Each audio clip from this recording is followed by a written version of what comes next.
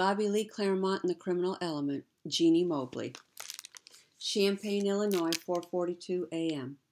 I opened the door and stepped out. Bobby Lee, thank goodness. When you didn't get back on the train in Centralia, I was so worried about you.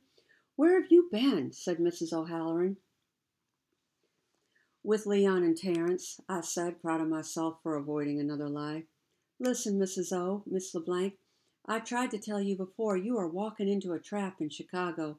If you get the insurance money, Kelly plans to take it. If you don't, he might hurt you. Neither way, Sergeant Hayworth plans to pin Jimmy's murder on you. He knows you couldn't have married because he knows. I didn't know how to say it. It seemed utterly foolish where her skin was as fair as mine to call her colored. He knows the truth about you. I know, she said, placing a gentle hand on my arm to calm me. You know? She nodded. It's not a secret that can be kept in New Orleans, and I'm sorry you've been drawn into the thick of it. From the moment we left New Orleans, everyone's tried to use you. It was wrong of all of us, and ever since you got hurt, I've been trying to think of a way to get you out of it. But you are going to get hurt too. How can I help you? I said. I knew the risks before I ever got on the train, she said. I knew that Sergeant Hayworth had most likely figured out the truth about my past, and if he had, he wouldn't let me get away with the insurance scam. But it's not a scam, is it? I protested.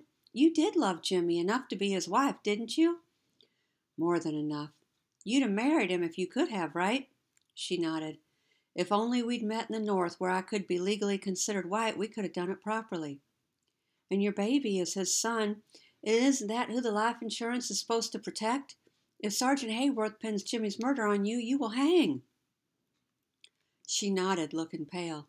I know. That is why I had to take my chances on this trip. It's not so much what happens to me that I'm worried about, it's Jimmy Jr. Even if the O'Hallorans won't accept me, even if I'm arrested and taken back to New Orleans, I'm hoping to convince them to raise my little boy. If they will take him in, he can grow up with all the privileges of a white man. That's the best gift I can give him. But he needs his mother. She shook her head.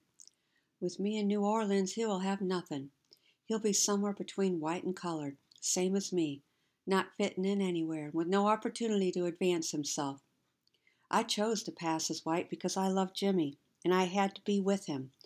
But now that I've lived in the freedom of that world of privilege and wealth, I can't deny my son that life. I can't take him back to New Orleans to work the docks. A white Yankee family can give him opportunities I never dreamed of. But a train conductor walked through the depot, ringing a handbell announcing time to board. I looked at Nanette, a knot of dread in my stomach. There was no way out for her in Chicago. Get off the train now, Mrs. O'Halloran, I said. Take your baby and your things and slip away from all them now. They won't know where you've gone. Go somewhere else and start a new life completely. She shook her head again. Kelly's friends would find me.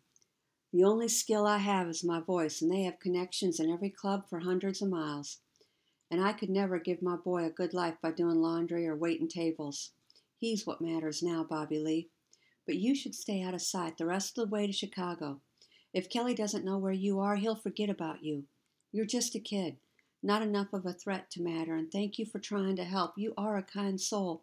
Now get back to wherever you've been keeping yourself. She gave me a kiss on the cheek. I hope your aunt in Chicago treats you real fine. So that was that. She turned and walked back to the train. I had achieved nothing. Sister Mary Magdalene was not going to help me, and my hopes for my future in Chicago were all dashed. I had gotten myself on the wrong side of a gangster and given away my escape for nothing. All that waited in Chicago now was disaster. But Sister Mistress, but Sister Mary Magdalene, like her boss, worked in mysterious ways which probably meant she already had someone headed for the Champaign train station to retrieve me.